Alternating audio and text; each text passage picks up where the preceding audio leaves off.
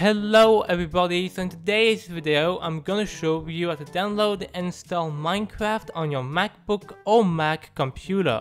So let's get started. The first thing you'll do is go to your web browser and I will have links in the description if you're interested but simply go to your search bar and search up for Minecraft. Once you hit this, simply go ahead and enter and you should see minecraft.net as the official website for Minecraft. Simply click the link and this will bring you to the Minecraft homepage. Once you hit this, you simply want to go ahead and click accept on the cookies and this will show you the top bar, games, shop, community and support. All you want to do here is simply click on games and this will select Minecraft here by default and you should see go to downloads below all that. So just click go to downloads. Now, what you want to do is simply click download launcher for macOS. If it doesn't become this link specifically, simply scroll down and you will see it right here. But in most cases, you should just see download launcher for macOS, so just click the green download button. Now you should have a minecraft.dmg file. This means you can now close your web browser, and you can now go to a Finder window. This is Finder. And what you want to do is simply go to your downloads folder and you should see minecraft.dmg. So just go ahead and double click this. And this is going to open up this little window here. And all you want to do here is quite simple. You just want to drag the Minecraft logo to the application's logo. So just like this. And you should see a plus, so just click plus, And that's it. You just now have installed the Minecraft launcher to your MacBook computer.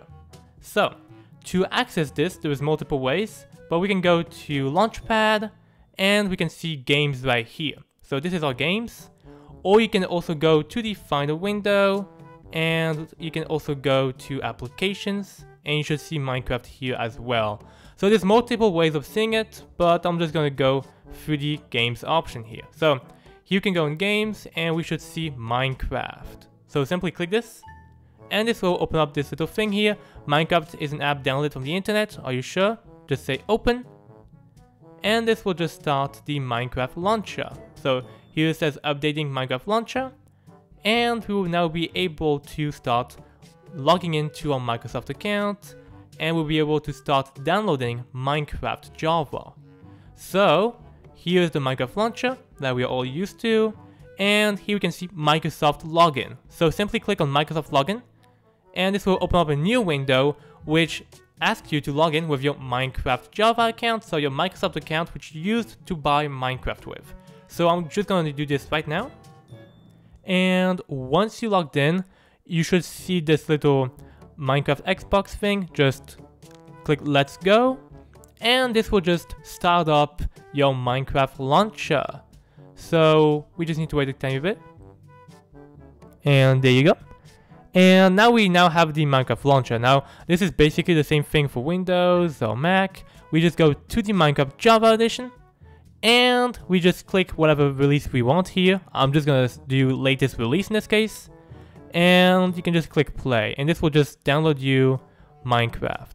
Now, if you want another release, you can always go to installations and you will be able to have another release here. But we will just be playing on the latest version of Minecraft. So let's just wait for Minecraft to fully download.